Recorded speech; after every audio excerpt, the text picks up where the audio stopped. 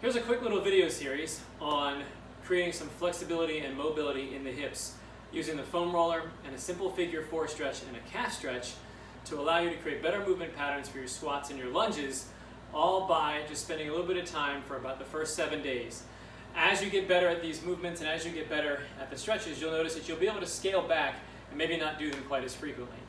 My thoughts are that if you can do each one of the rolls, each one of the stretches, one to two times per side, and then potentially one to two times a day, by the end of day seven, you should feel a tremendous amount of relief and a whole lot of new mobility that you didn't have before. Um, and then we're also going to incorporate some strength and stability work too with some bridging exercises that as you continue to do them, we'll be able to increase the repetition and be able to increase the workload so that you get a little stronger through your hips and, and whatnot. So give these all a try, check them out in sequence. Let me know if you have any questions, and I'd love to hear some feedback. Thanks. To foam roll the calves, what we're going to use is your foam roller here. This could be your grid. We're going to put it down in between your legs, right around calf level, right around the thickest part of your calf. We're going to start with one leg right on top. We're going to take the other leg, cross it over, right there in the middle of it. We're then going to lift up as best you can and roll up and down nice and slow, one inch per second on the calf muscle. As you're moving along, making sure that you keep your ankle that you're on for the leg that you're on nice and relaxed. As you're moving, you can also take the time to pivot right and left a little bit if you want to, to find areas that are a little bit more tender. Now, if this is just too intense for you to navigate, you can also leave your body down and just push down with the top leg and create more of a knee bend pattern and work on that until you can work up to holding your body off the ground. I like to say do about one minute on each leg so that you can get max benefit out of it.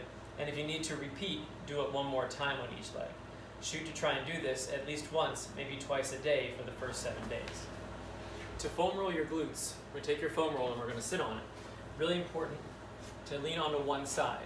So I'm going to be on my right rear, right side of my on my butt. Put my right hand down on the ground. Cross my right leg up over my left. Once I'm here, I just want to roll nice and slow up and down on my butt. Here, we want to think about trying to keep our foot flexed too and keeping our hip open away from our chest the best we can. Again, we're moving really slow here. We don't want to go very fast. And as you're moving along, if you find an area that's a little bit more tender, hold there, give it a few seconds to release, and then continue rolling up and down in the same spot. While you're moving along, you might want to rock front to back a little bit when you find a tender area as well too, just to create a bit of a different sensation. We'd want to do this about a minute per side and then probably repeat again one more time on each side. You want to try and complete these at least once a day, if not twice a day, for the first seven days. Okay, we're going to foam roll our quads, which is a very common area that gets really tight for a lot of people. So what I want you to do is start with your foam roller down in front of your right leg. Once we're here, we're going to hold on to it with one hand, with our right hand. We bring our left hand down on the ground. Put yourself down into a plank position.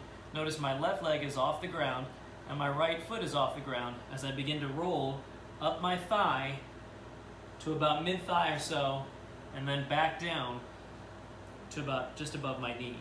Rolling up to about mid-thigh and then back down. Moving really slow, about one inch per second. I want you to stop right around mid-thigh after we've done about four or five rolls. Fishtail your leg right and left, and then bend your knee five times. You're going to work to whatever your range of motion will allow when you go to bend your knee. Then you're going to continue rolling back down and back up. Once you've done that, we're then going to switch and move from mid-thigh all the way up to about your hip bone and then back down. Mid-thigh to hip bone. Repeating the same process when you come back down to the midpoint again after about four or five rolls, fishtail and knee bend five times. This is one of these exercises, one of the stretches that you can do definitely daily, hopefully twice a day during your first seven days of getting set up, and then maybe you scale it back afterwards. Give it a shot. Let me know how you feel. Okay, now we want to work on some hip stretches here. Uh, most importantly is going to be our figure four stretch. I'm going to show you two different ways you can do this. Okay. Number one, we're just going to lay back in the figure four position, crossing one leg over the other. Once you're here, you can just take your, I've got my right leg over my left, so I'm going to take my right hand and push my left hip open a little bit. Now that might not feel like a whole lot of stretch or anything, and you don't want to be too aggressive. You want to be mild. Now, if that feels like you can do that okay, level two would be to reach up, grab behind your thigh, okay, and pull your left leg towards your chest to increase the stretch out here in your rear end and in your hip. Level three, if you can do so, would be to reach around the front of your shin, grab your shin, and pull back. As you're stretching, keep your arms relatively straight so you can use your shoulder blades to pull your hip back and get a big stretch happening out here in your glutes. Again, you'd want to do this about 60 seconds per side, and then what you'd want to do from there is do it two times on each side, time permitting. Again, if you can do this once a day, maybe even twice a day, I think the benefits would be pretty high, or any time that your hips feel pretty tight. Okay, okay. we're going to work on stretching out your calves a little bit down here. And what I want you to do when we stretch out your calves is pretend this is like a staircase in your house or any stair. And give yourself something you can hold on to for stability.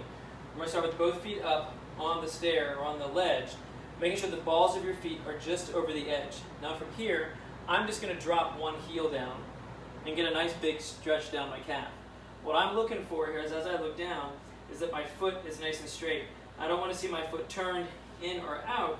I want to make sure that my foot is lined up with my leg all the way down and up. I'm just going to hold this about 30 to 60 seconds on each side. Does not need to be aggressive. Mild to moderate stretch. Aggressive is not better here. You want to think you want to feel a nice gentle stretch coming at the back of your calf, anywhere from down here all the way up to your knee.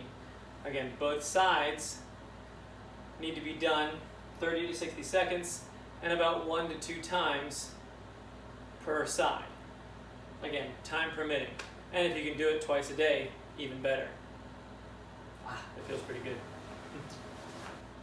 Okay, now we've done a lot of flexibility, so let's do a little stability and strength. So we're going to work on the bridge exercise. I'm going to show you how to progress it through a couple different things. Number one, we're going to get ourselves down, hips down, back down, and our feet are only about two fists apart from each other. Once we're here, what I want you to do is tuck your pelvis by using your abdominal muscles. Make sure your feet are flat, make sure you can feel your heel, your big toe, and feel your ball of your foot on the ground. Tuck your pelvis, squeeze your butt cheeks together, and drive your hips up. What we don't want is your back to arch. So if you feel that happening, you need to re-engage here and focus on tucking your pelvis back. Should be a lot of work here in your rear end. We'll lower down and come back up. You're to do this about 20 times, moving at this pace. Then you take a little breather. Then we're to do what's called a bridge march. And in the bridge march, we're going to get to the top, hold the top, and then we're going to alternate bringing a leg off the ground, slow and controlled. And when you bring up one leg, make sure the other leg doesn't fall down, keeping your hips up nice and high. And when you do that, about 20 marches. You do each one about two times, and then you'd want to try and do that one to two times a day.